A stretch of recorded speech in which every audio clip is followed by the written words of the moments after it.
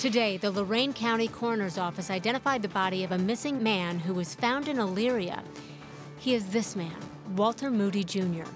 Moody had been reported as missing by the Elyria Police Department on August 30th of last year. Police discovered his body in a wooded area near the 1100 block of Ford Road.